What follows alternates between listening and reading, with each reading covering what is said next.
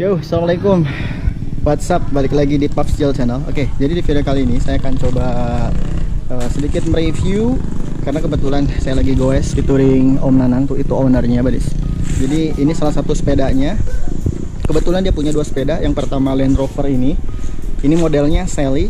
Cuman yang kedua itu ini yang kerennya, Badis. Belum ada kesempatan nanti next setelah ini saya review lagi. Itu Adrenalin DH2 kalau tidak salah. Bener gak Om?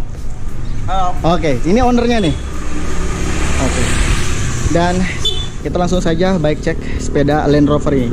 Dari namanya sepintas seperti mobil gitu ya. Seperti mobil yang kalian tahu lah Land Rover.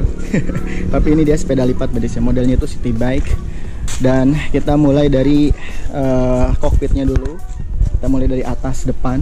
Jadi kokpitnya seperti ini badis. Nah, ini gripnya seperti ini dan saya rasa lumayan keras. Terus dia model stangnya pendek ya flat. Dan juga untuk stemnya ini sudah di upgrade kalau tidak salah pakai model stem pendek dari apa ya? Oke tidak ada brandnya.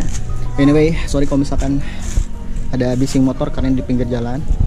Terus untuk segi brake setnya dia dari apa ini? Site ya side seperti ini masih mekanikal terus untuk speednya dia 7 speed. Dan dua kali 7 speed badis. Terus ini untuk shifternya model dorong nih ya. Seperti itu. Kita lanjut ke bawah. Ini nama sepedanya Land Rover. Asik gagah banget untuk fognya turun ke bagian bawah. Ini dari apa ya? Challenge G4 Land Rover. Bawaannya mungkin ya.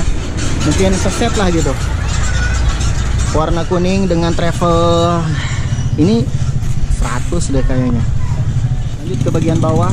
Ini sepertinya dari alloy dari 10 Mei ya dengan ornamen-ornamen stiker merah putihnya dan untuk bannya dia modelnya seperti ini. Hitam kuning hitam wis dia dari Guangzhou dia ukuran 26 kali 2.125 badis ya masih wheel set 26 terus lanjut ke bagian tengah. Ini rangkanya seperti ini. Ini modelnya steel ya belum alloy. Ada stiker Land Rover ini botol cage nya terus untuk saddlenya seperti ini. Ini lumayan empuk sih ya. Terus lanjut ke bagian seat postnya. Ini masih steel juga. Uh, seat clamp sama steel. Untuk shocknya atau suspensi belakangnya dia pakai tongga gitu ya. Oke model berdiri seperti ini. Terus untuk FD nya dia dari Shimano gak tahu nih Shimano apa. Dia mengusung oh tiga kali speed ternyata beris maaf tadi saya bilang dua kali speed tapi ini ternyata tiga kali speed. Terus untuk cranknya dia masih seperti ini ya. Masih kotak lanjut kita ke belakang badis. Untuk RD nya dia Shimano TZ Shimano Tourney TZ ya. Dan untuk speednya dia 7 speed dengan 36T untuk wheelsetnya sama. 10 Mei dengan depan. Terus remnya masih mekanikal dengan ukuran 160 untuk cakramnya badis atau rotornya dan untuk kabel-kabel remnya dia belum inner cable masih model di luar badis ya. Tuh. Oke okay, jadi seperti ini penampakan dari si Land Rover. Anyway kelewat untuk uh, apa ya ini si klip lipatnya. Dia masih besi. So jadi seperti ini sih. Uh, sepeda Land Rover warna kuning G4 G4 Challenge ya.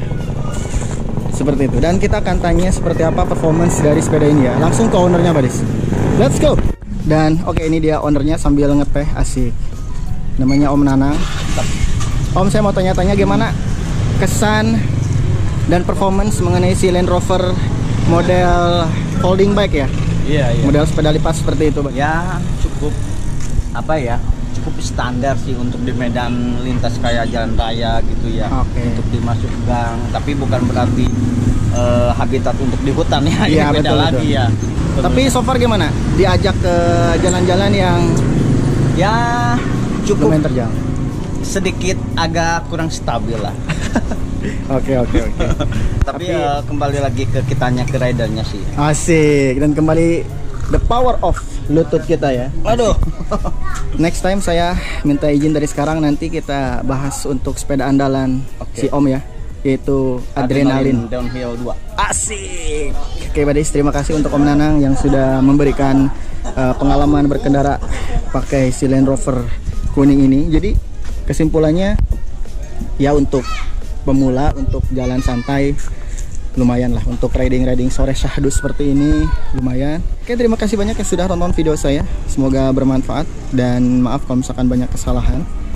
Salam sehat, salam dua pedal. So, assalamualaikum warahmatullahi wabarakatuh. Goodbye.